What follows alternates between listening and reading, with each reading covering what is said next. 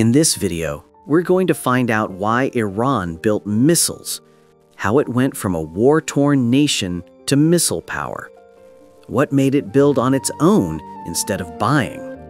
Stick around till the end. This story's really worth hearing. It all started back in the Iran-Iraq war years. Back then, cities were bombed by enemy missiles every night. Iran had no real defense, only courage and endurance left. That's when it realized survival means building missiles itself. The war ended, but the threats never truly went away. America and Israel stayed near, watching and pressuring hard. Iran saw without missiles, it would always remain vulnerable.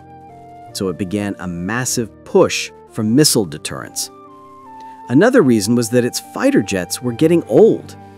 No foreign country would sell Iran new modern aircraft anymore. Sanctions blocked spare parts, even for old planes it had.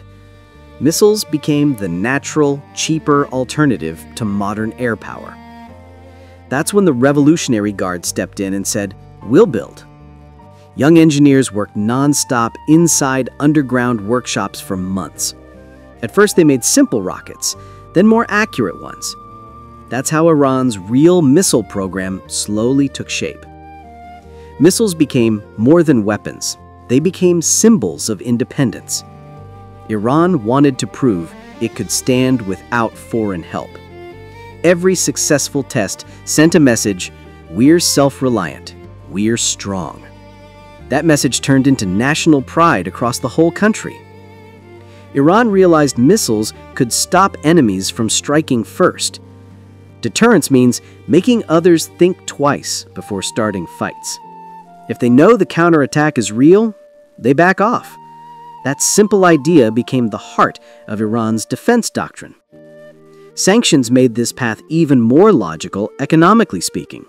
Homegrown missiles cost far less than imported fighter jets ever could. With smaller budgets, Iran still boosted both range and accuracy. That's why its defense money went straight into missile industry. The more pressure came, the more motivated scientists became.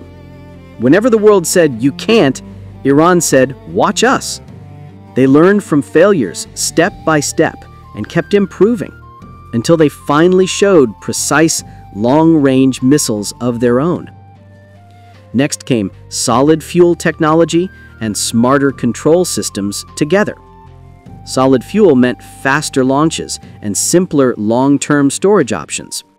At the same time, Iran built its own guidance systems. Missiles now became both deterrence tools and political instruments. Because missiles mean bargaining power in today's rough world. If you can hit 2,000 kilometers away precisely, no one talks down to you, they talk across. Iran learned military power brings respect at negotiation tables. Politicians saw missiles as real leverage in diplomacy's high stakes. Every negotiation needs some strength behind polite conversation lines.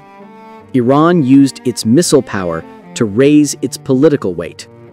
Missiles turned from defense tools into political bargaining chips. The Revolutionary Guard's role was crucial through all those years.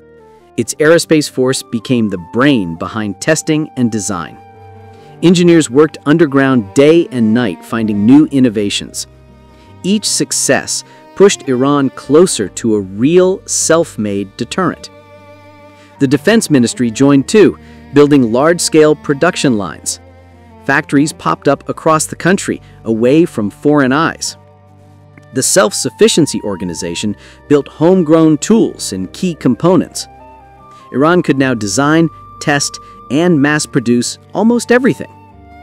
Soon came advanced models like Shahab, Imad, and Khorramshahr.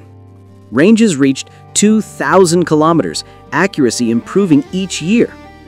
Solid fuel rockets like Sejil and Fateh were later unveiled. Fateh reportedly reaches Mach 13, a real hypersonic leap.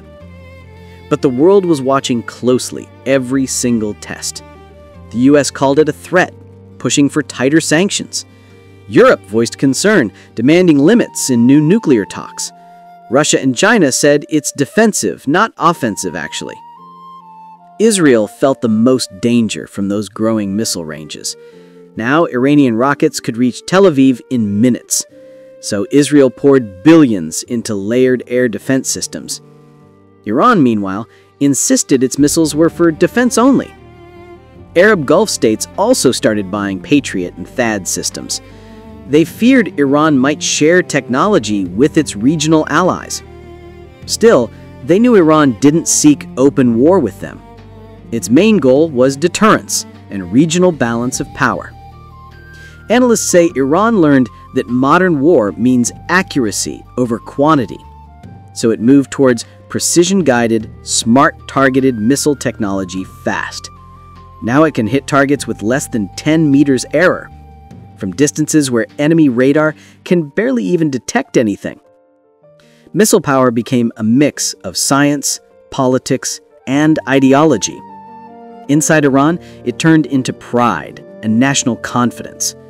Across the region, it warned both old and new rivals. And globally, it showed Iran is still a serious player.